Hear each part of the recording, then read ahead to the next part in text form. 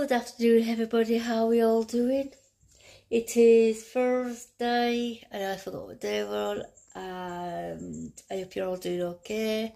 Not in the fibro warriors. I hope your pain level's okay. Uh, no point going, are you alright? Because you probably think I'm being patronising. Um, but yeah, I hope you're okay and your levels are not so high. I'm still struggling with this left shoulder and arm with the achy pain and I bought some stuff to try and help. I, I don't know. I had one on my shoulder last night and one on my lower back. It's like, uh, you know those heat pads you can get? You can just stick them like that on your back and leave for a few hours. This one was in a blue packet. I think it was cold freeze, cold freeze or something. What you put it on, it's supposed to help. Didn't even touch me. Oh, it wasn't that was worth of three quids because I got three packs. And yesterday I went for a drive. Uh, to, I had to go to somewhere, so I went for a drive. And I'm looking in here. Let me know in the comments below, guys, if you struggle with this. But it's happened to me a few times over the years when I'm walking. So when I've sat down, it feels like someone's just put like a bit on a nerve, and you're like, whoa, you know what I mean? That feeling of you're gonna fall. Um, it's like a weird, I don't, I can't describe it, it's a weird sensation. It's like someone's just prodding you and you're just like way up, legs have gone, that type of feeling. Um, but yeah, Louis doing some homeschooling. That cat is in naughty prison, cat prison again because he's been naughty. And Bella's on running around. She's getting neutered next month. Can't believe it's what June? Is it ending next week or week just starting? Sorry. Ooh, don't know. It's good. I'm not sleeping very well at the minute. Um, I just can't get comfy, and when you get comfy, then it's like, and you know you're getting comfy because that feeling, it's like, oh, I'm comfy, I don't want to get out, and then your blood's like, yeah, you, your blood is like, yes, you do need to go, go now, go now, you're gonna wee yourself now. That, oh, I know I did that in the car yesterday. I, I don't know, I started sneezing and I was driving and I thought, oh my god, woo, trying to all that. Then I thought, I need to go to the toilet. I'm going to wee myself. anyway, so what we're going to talk about. So I took my daughter to an autism appointment the day, on Tuesday. Uh, she went in, I don't know what happened. They just told me when they came out after an hour um, that everything went alright and stuff like that. And then I'm not going to hear back the results, the diagnosis, or anything like that for a couple of months. I like, oh my god, it's just like how it happened with Hannah. She was 14, and obviously, I should now now knowing back then her behaviour was stuff like that. I thought, wish I should, got out back then. But I, I wasn't aware of autism until Anna turned. Oh, it was 40, 15, I think. She, that's what happened anyway. I can't, I'm not going to get into it, but she got a final diagnosis when she was 16 and school refused to help her as well.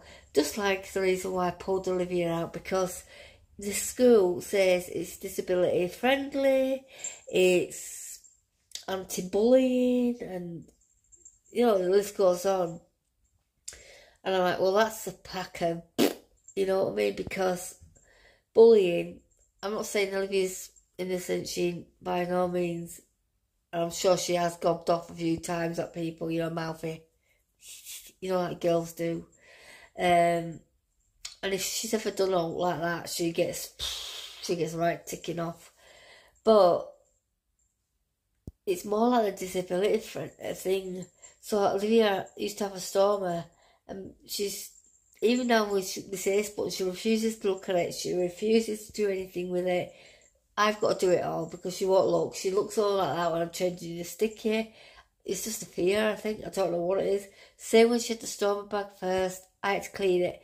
And then I had to be on call all the time. So I couldn't go out to work at the time because uh, what if she leaks at school? And you know what I mean? I had to get down there quick, change her, fresh clothes, blah, blah. When it came to going to, into year seven at the uh, high school, we're not going to mother, mother cuddle her, she needs to do it herself, blah, blah. Just the way they spoke to me, I spoke to Olivia, I thought that's disgusting. Just let, then I thought, you know what, stuff's at school, I'll do, started on school in her. But she wanted to go to school after she had the hair spot fade. So she went to school and they're still She's got a toilet pass. She has another pa- five. Is it a timeout pass? And she should have a well-being pass and a few other passes. But so she can get out of class a bit five minutes before to get to another class and get pushed. And if yank at her hair spun, it's going to fall out and it's going to be painful. Keep emailing, keep emailing. I speak to the same SENCO lady. She said I ordered them months ago. Livy's come home saying, well, they're not going to let me have it. I've got to have a good enough reason why I should have to passes. I'm like, what the? So, yeah. After a long, hard think about it, I pulled her out because I'm sick of it. No, don't get stoned. She's coming home anxiety, stressed, and so and what refuses. Sometimes she'll refuse to go to school. There's other times where a vertigo gets the better of her, and I, I can't send her in. What she falls, then they go, "Well, why did you send her to school today?" If she like that. So yeah, I thought the best thing is at least she can get up a little bit later. If she's dizzy, she can sit still for a bit. She's not having a panic about getting up at six o'clock in the morning, getting dressed, no, I'll let you out in a minute. He's in cat prison because he's been a naughty boy. I'll let you out in a bit. Anyhow, so, what was I saying? Brain fog. Oh, it's really bad today. Fatigue's bad today as well. So, that's the reason why I pulled her out. And also, there was an incident at the school and the police got involved. And, yeah, I'm not going to get into that because it's a bit, you know, it's pri- privacy and stuff like that. Privacy, whatever you want to call that word. So that is something, and that's also the reason why, because I didn't want she would get picked on over it.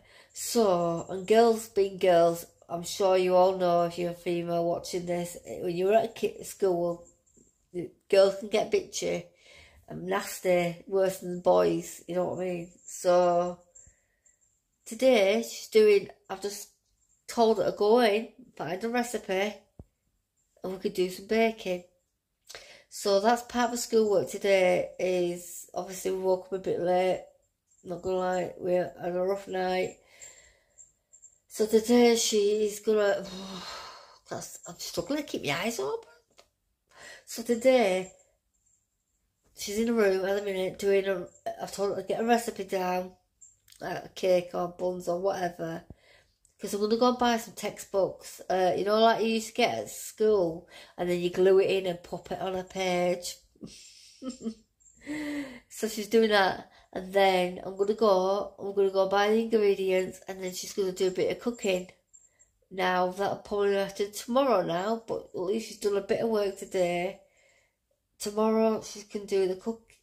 In fact, she might do a bit later on, and then she can do some more work tomorrow.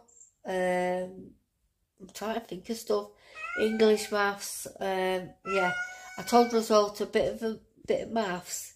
Get like, I know it sounds stupid, but get a notepad, uh, a clipboard, write stuff down, prices, etc., etc. You know that maths, and then add it up as you go. And then try and do it with a calculator later if you can't work it out. Anyway, long we won't get into that right now because I'm starting to really feel a bit drowsy. I'm tired. Let me know what you guys are getting up.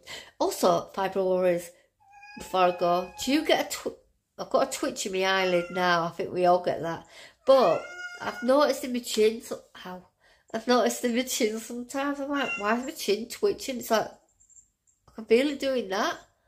Let me know if you. God, you, the things we find out, uh, more the more they find out, I'm like, what the hell? Surely this can't be fibro. Really? I think doctors are just saying it is because they can't be bothered anymore. and they're overrun. Anyway, guys, I'm going to love you and leave you because I've been babbling on for now 10 minutes. And I'm going to have to go and take some pain relief for this bleeding shoulder. I'm going to go catch up on what Olivia is doing. So if you like this video, please press a like, subscribe if you haven't already, and press the notification bell. Please like it and share it. It helps with the algorithm and it helps push out my videos further out to other people in the world. Yeah, and soon I'm going to try and order some American sweets. I, I forgot all about it to be honest. And I'm going to buy some chocolate. Then I'm going to buy some British sweets and let's see what taste, if the taste. I've heard some mixed message, mixed reviews about American sweets, but let's see how it goes. I'll see you in the next video. Bye bye.